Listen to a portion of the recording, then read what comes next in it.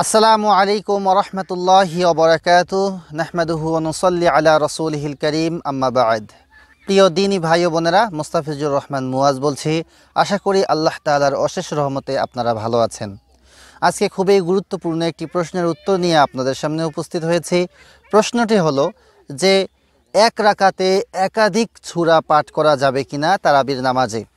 এই প্রশ্নটি অনেকেই আমাকে করেছেন যে, হুজুর, আমি কি এক রাকাতে যেমন সুরা ফিল, তারপরে সুরা কোরাইশ, আবার সুরা মাউন, আবার সুরা কাউসার পাঠ করতে পারব কিনা? তো প্রিয় বন্ধুগণ, এই প্রশ্নটির উত্তর হলো, জি হ্যাঁ আপনি তারাবির নামাজে বা নফল নামাজে এক রাখাতে একাধিক সুরা অবশ্যই পাঠ করতে পারবেন। এতে কোনো সমস্যা নেই, ইনশাআল্লাহ। বরং এতে আরও ভালো হবে, কারণ আপনি নামাজে অনেক বেশি কেরাত পড়তেছেন।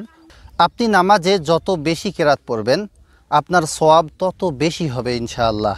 আর আমরা হাদিস থেকে জানতে পাই যে রাসুল্লাহ সাল্লু আলহি ওয়াসাল্লাম নফল নামাজে অনেক বড় বড় ক্রাত পড়তেন এবং দীর্ঘক্ষণ যাবত তিনি কোরআন তেলাওয়াত করতেন।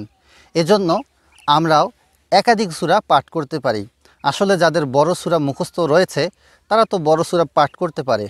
কিন্তু যাদের বড় সূরা মুখস্থ নেই, তারা চাইলেও বড় সূরা পাঠ করতে পারবে না। তারা বরং এক রাখাতেই একাধিক সূরা পাঠ করে দীর্ঘক্ষণ তেলাওয়াত চালিয়ে যাবে।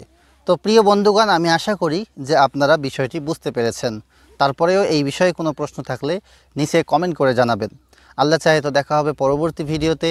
সেই পর্যন্ত সকলের সুস্বাস্থ্য কামনা করে আজকের মতো বিদায় নিচ্ছি। আল্লাহ হাফেজ। আসসালামু আলাইকুম রহমতুল্লাহি ওবরাকাতুহ